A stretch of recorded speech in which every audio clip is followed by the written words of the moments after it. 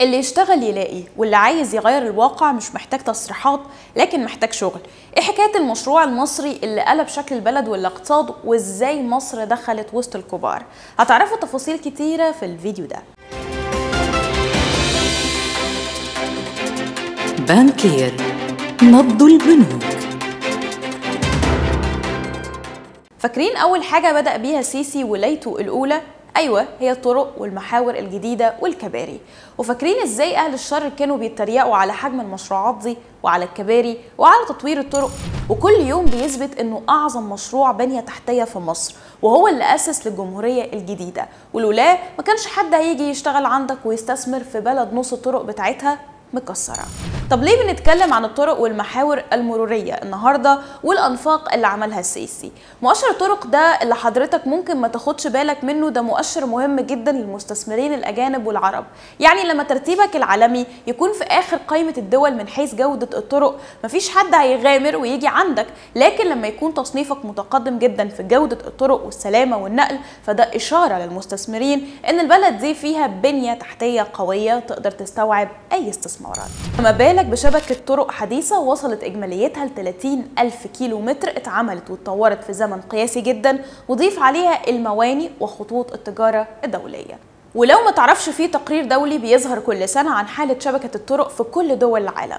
بيطلع بيه تصنيف وزي ما قلنا التصنيف ده بينور للمستثمرين والشركات العالمية عن مدى تطور البنية التحتية في كل بلد.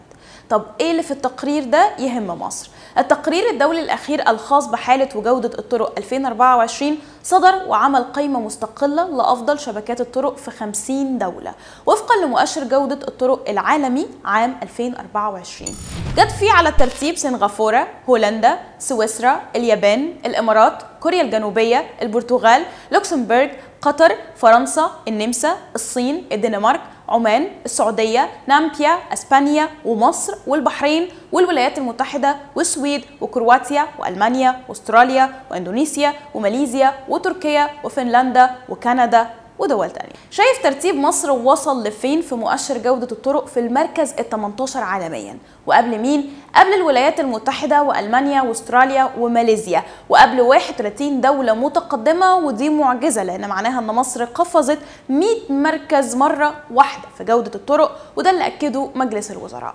ضيف على كده إن إجمالي الطرق المستهدف تنفيذها ضمن المشروع القومي للطرق بلغت 7000 كيلومتر تم تنفيذ 6300 كيلومتر منها بتكلفة 155 مليار جنيه. وده هيؤدي لزيادة أطوال الطرق الرئيسية بنسبة 29.8% علشان تبلغ 30.5 ألف كيلومتر بنهاية عام 2024 مقابل 23.5 ألف كيلومتر لعام 2014 وتم تطوير ورفع كفاءة 8400 كيلومتر من الطرق الرئيسية بتكلفة 110 مليار جنيه من إجمالي 10000 كيلومتر مستهدف تطويرها. بنتمنى كل الخير للاقتصاد المصري في الأيام والسنين الجاية. أنا أشرقت أشرف وإلى اللقاء. بانكير نبض البنوك.